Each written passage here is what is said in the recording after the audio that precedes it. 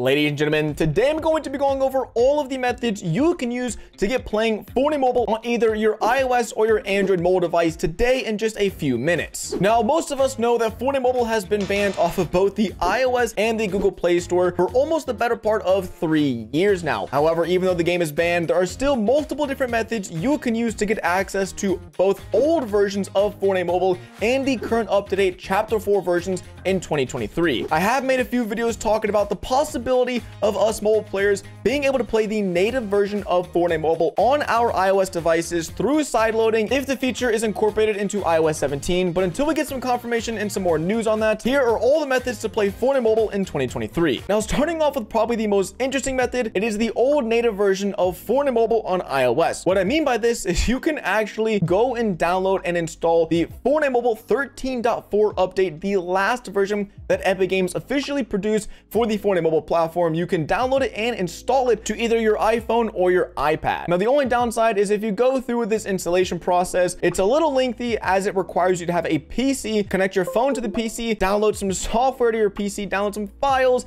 and then you can get started with the installation process. On top of that, the Fortnite mobile file for iOS is about 10 gigabytes in size. So if you don't have those 10 gigs available on either your iPhone or your iPad, you either have to delete some apps or you just can't go through the installation. However, if you do choose to actually use this method of installing Fortnite Mobile, you will be greeted with the old Chapter 2 Season 3 map. All of the nostalgia will be flooding back to you because it is basically a time capsule of Fortnite. You're able to play the perfectly preserved Chapter 2 Season 3 map with all the PYs, with all the mythic guns and characters, but there's really no one on these servers. Because it's so old and outdated and it's really difficult to install nowadays, there's only a few real players in each match, and sometimes the matches can take up to 10 to 15 minutes to even get into a lobby. So the only reason I would recommend installing this is if you have extra time on your hands, you have extra space on your device, and you really just want to experience some old nostalgic Fortnite Mobile. Now, I'll leave a link down below in the description on how to actually install Fortnite Mobile on your iOS device using this method because it's really lengthy, it's time consuming, and Golden made a really good video back day on how to do it. When you actually go and search some of these things on Google, you can sometimes get some really misleading and actually wrong results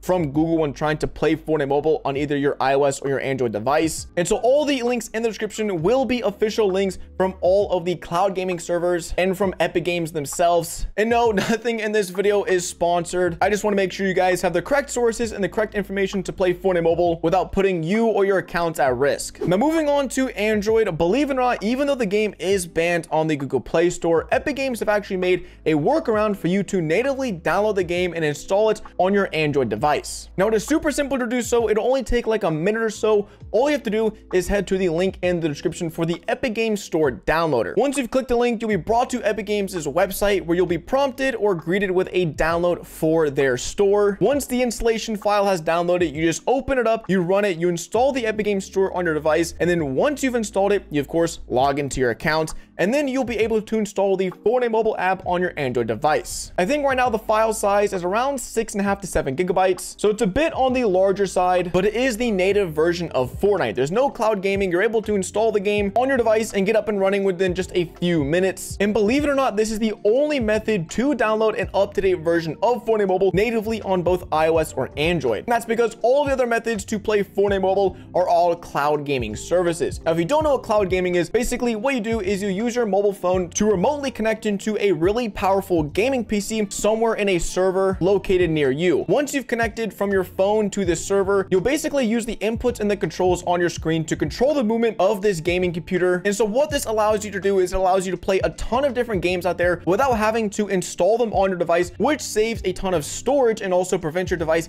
typically from overheating and maybe having some performance issues. And also gives us the ability to play games that might be banned like Fortnite Mobile on our devices. Now, the platform that I would recommend most people check out is the Xbox cloud gaming platform. The reason for this is it takes literally just a few seconds to get playing Fortnite Mobile on either your iOS or your Android device. And the reason for this is all you need is an Xbox account or a Microsoft account. You don't need to have an Xbox Live membership. You literally just need to have an account. Once you've used that account to sign into the platform, you can then choose between a plethora of different games obviously Fortnite Mobile being one of them. Once you've selected the game, you boot it up. Usually takes around 10 or 15 seconds, and then you'll be greeted with Fortnite on your phone. Now, I do want you guys to take note that this is not Fortnite Mobile. Basically, what they're doing is they're allowing you to use mobile mobile touch controls on your phone to once again control that PC out there somewhere in the world. So you're basically getting PC level graphics, PC level frame rate, but you're using the mobile touch controls to actually make everything happen. So for any users out there who might have a lower end device, this would probably honestly be better than you installing Fortnite on your Android because you can probably get a more consistent frame rate and better graphics. But the only downside is to really get the maximum benefit from cloud gaming, you'll usually have to have a really good Wi-Fi or cell service connection. But I think those are pretty easy to come by nowadays. Now moving on to the second cloud gaming service that I would recommend is the NVIDIA GeForce Now gaming service. Now this is on paper better than all of their cloud gaming services. The only problem is to take maximum advantage of the NVIDIA GeForce Now cloud gaming experience, you'll have to dish out a few dollars every single month in the form of one of their monthly memberships. There is a free membership option available. However, it does come with some limitations in terms of how long you're able to game without getting kicked off your machine and also the specs of the machine, meaning you'll get a lower spec machine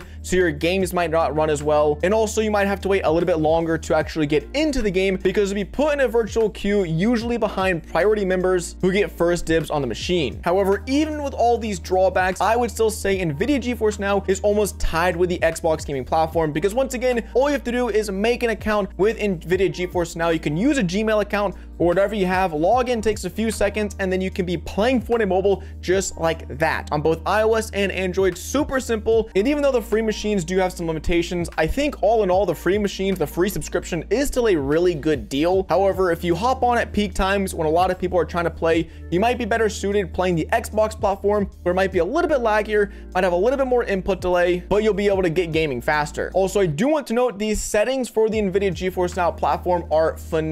They allow you to customize a lot of the gameplay settings like resolution, your max frame rate, and also how much data you want to send back and forth between the servers. If you're using cell service, this will basically allow you to save a ton of your data so it's not all being wasted on this cloud gaming service. But if you're using Wi-Fi, you can typically just max out the performance. So that way you're getting the absolute best quality and as little input delay as possible. Now, the third and final cloud gaming service is a brand new one and kind of the reason I'm making this video, but it has a lot of drawbacks. The newest cloud gaming platform is called Luna and it is by Amazon. So Amazon, they decided to make their own cloud gaming service, but there's a big catch and it is you have to have an Amazon Prime membership in order to even get access to this service. Now, I know a lot of people use Amazon, including myself, and so there's a good chance someone in your family might have an Amazon Prime account you could borrow and use and try to connect to the service using someone else's account. However, even if you are able to source an Amazon Prime account and use it to log into the Luna cloud gaming service, you're really not going to be met with a lot of performance. Things might have changed and they might actively be upgrading the servers, but I really wasn't impressed with my first time playing on this cloud gaming platform. Cloud gaming already has a lot of things going against it, like if you have bad internet, then your quality is going to be decreased. And on top of that, usually the input delay is pretty hard to deal with in really intense fights. And so if you have a cloud gaming service where it's giving you additional input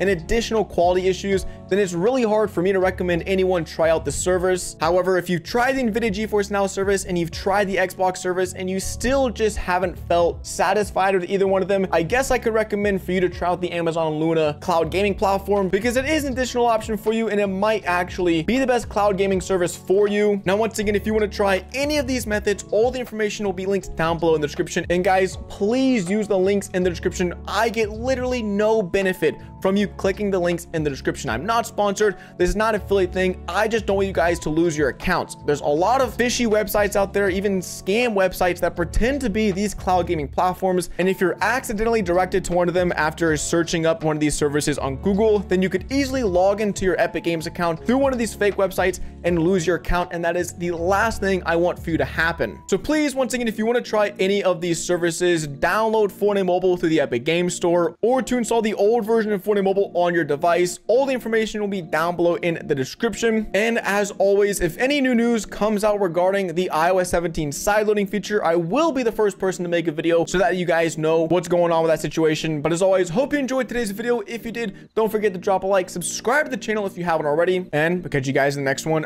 Deuces.